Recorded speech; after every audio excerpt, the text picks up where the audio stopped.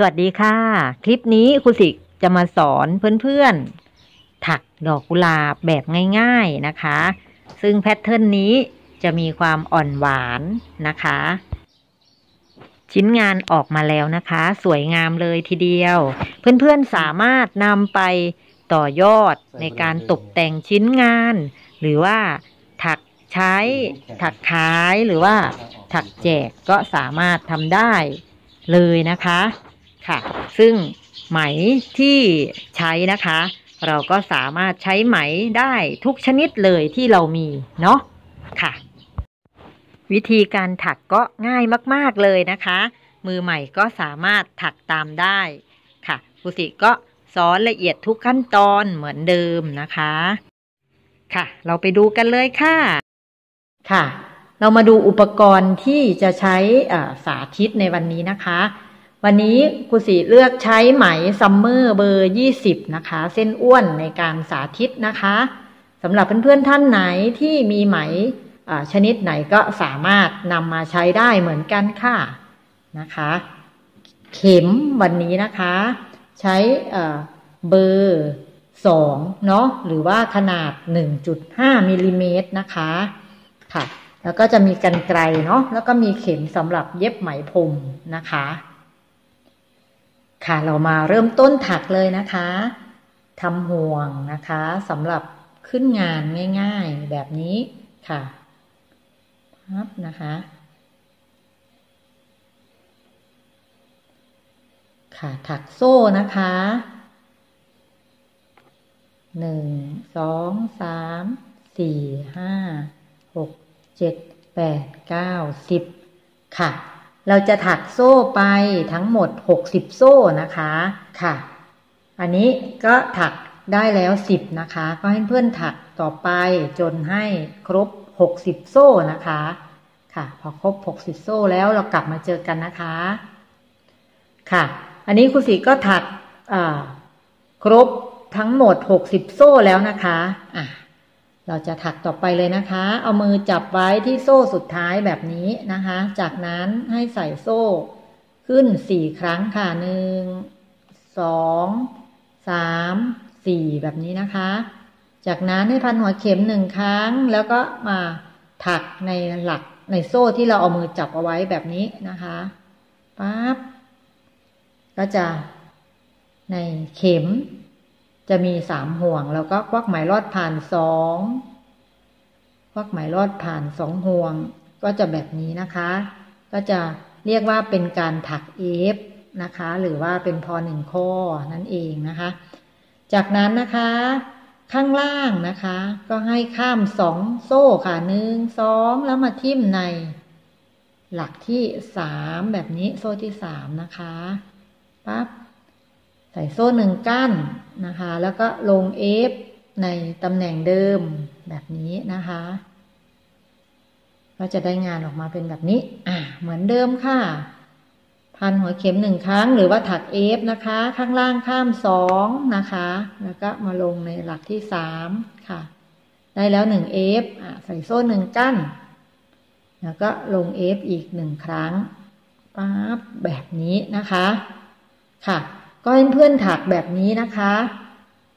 ยาวมาเลยจนถึงจุดเริ่มต้นตรงนี้นะคะ ค่ะให้เพื่อนถักไปเลยนะคะ ค่ะ อันนี้เราก็ถักมาจนถึงสุดท้ายแล้วนะคะ อันนี้จะเป็นชุดๆเนาะก็จะเป็นฐานของกีบดอกนั่นเองนะคะ ถ้าเกิดนับจำนวนตรงนี้ค่ะ ก็คือจะได้ยี่สิบนะคะยี่สิบชุดเนาะ จากนั้นนะคะจะใส่แถวที่สองค่ะ ใส่โซ่ขึ้นหนึ่งสองสามนะคะ แล้วก็พลิกชิ้นงานกลับค่ะ จากนั้นให้ถักเอฟหนึ่งครั้งตรงตำแหน่งตรงนี้นะคะ ใส่โซ่สองกั้นค่ะหนึ่งสองค่ะ แล้วก็ถักเอฟสองครั้งนะคะหนึ่งสองค่ะ จากนั้นนะคะก็ทำเหมือนเดิมค่ะ F สองครั้ง ค่ะแล้วก็โซ่สองกั้นแบบนี้นะคะ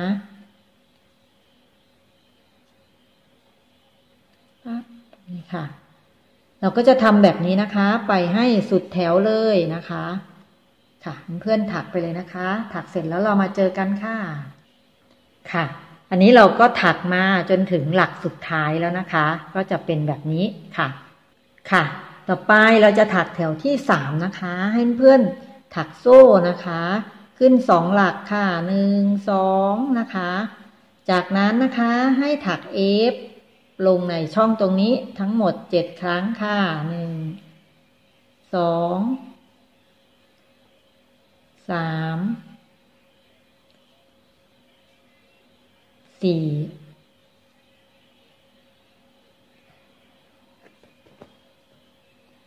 ห้าหกเจ็ดนะคะ พอได้เจ็ดแล้วก็ให้ใส่โซ่นะคะหนึ่งสองแล้วก็ทิ่มลงตรงระหว่างกลีบนะ ถัก x ค่ะ จากนั้นก็ใส่โซ่สองค่ะหนึ่งสองแล้วก็ ถัก f ค่ะทั้งหมดเจ็ดครั้งค่ะ ได้แล้วสองสามสี่ห้าหกอะเจ็ดนะคะ พอได้เจ็ดแล้วก็เหมือนเดิมนะคะ ใส่โซ่สองค่ะหนึ่งสองค่ะ แล้วก็ทิมเข็มลงระหว่างกลีบเนาะแล้วก็ถัก x ปั๊บแบบนี้อะมาดูงานกันนะ เราก็จะได้หน้าตาของงานออกมาเป็นแบบนี้นะคะค่ะ จากนั้นนะคะก็เพื่อนถักแบบนี้นะคะ ไปจนให้ถึงสุดท้ายเลยนะคะค่ะ พอเราถักให้ครบแล้วเรากลับมาเจอกันนะคะ ถักเลยค่ะ ค่ะ อันนี้เราก็ถักมาจน ครบแล้วนะคะ ก็จะได้ลักษณะของงานเป็นแบบนี้ค่ะนะคะ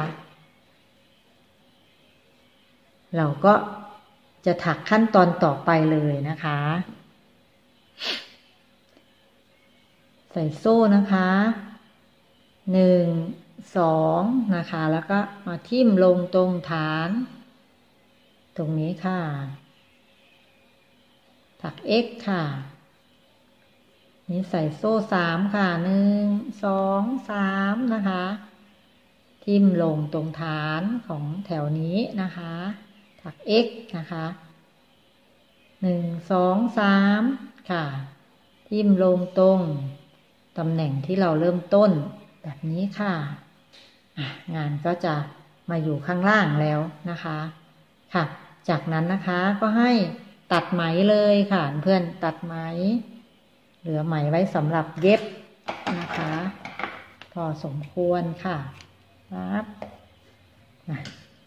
ดึงไหมรอดไปเลย ก็จะได้งานออกมาแล้วเป็นแบบนี้นะคะ ค่ะ ขั้นตอนต่อไปเราจะมามาวันดอกกุหลาบของเรานะคะ ค่ะ เราก็จะจัดการ อันนี้ปุสิก็จะม้วนให้ดูนะคะว่าอันนี้เราจะเอาด้านถูกหันเข้าหาตัวเองก็จะได้ลักษณะเป็นแบบนี้ เราก็พันไปแบบนี้นะคะ วิธีพันก็ง่ายๆท่านเพื่อนได้ดูในคลิปที่แล้วที่เป็นสีแดงอะค่ะ วิธีการก็เหมือนกันเลยนะคะเนี่ยค่ะ เราก็ค่อยๆพันมาข้างล่าง พยายามให้ข้างล่างเท่ากันนะคะแบบนี้ก็ได้เพื่อจะดูข้างล่างหรือข้างบนก็ได้นะคะปั๊บเวลานั้นเราก็จะต้องเช็คทั้งบนและล่างเหมือนเดิมเนี่ยค่ะแบบนี้เนาะจากนั้นก็ทำการเย็บค่ะค่ะ ดอกของเราก็จะเป็นแบบนี้เนาะ ขั้นตอนต่อไปเราจะเย็บนะคะเพื่อนเราก็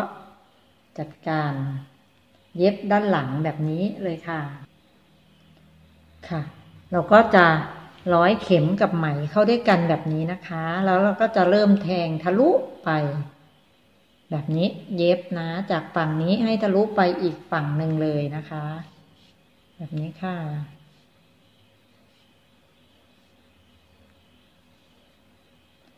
นั้นเพื่อนก็เย็บบนมานะคะบนมา เนี่ยค่ะ เป็นแบบนี้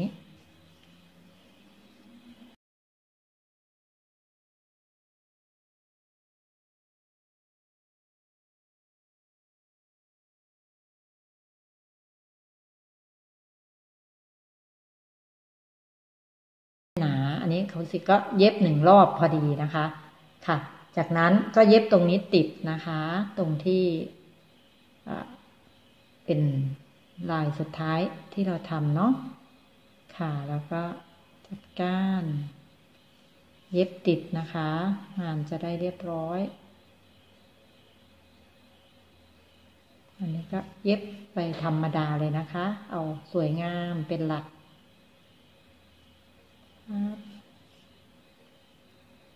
ค่ะ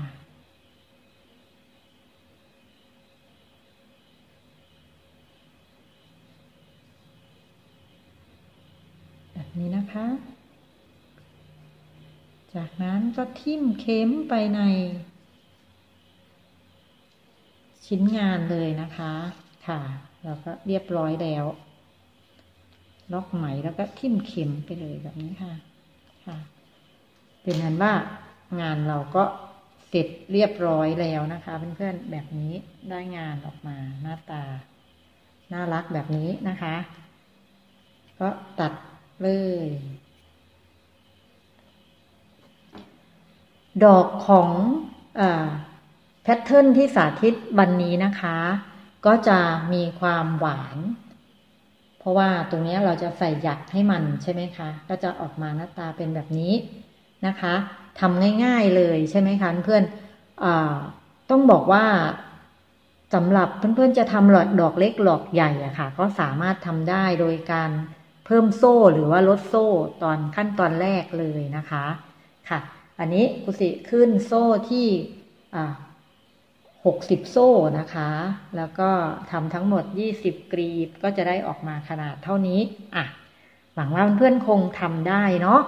ค่ะ เราถักเอาไว้นะคะ เอาไว้ประดับตกแต่งชิ้นงานไม่ว่าจะเป็นแต่งกระเป๋า แต่งหมวก แต่งเสื้อหรือว่าเอาไปเป็นอ็อกเซสซอรี่ได้หมดเลยนะคะ ค่ะ หรือว่าเราจะตัดเป็นช่อเป็นกระเช้าก็สามารถทำได้นะ ขอให้เราทำไว้เยอะๆเนาะค่ะ วันนี้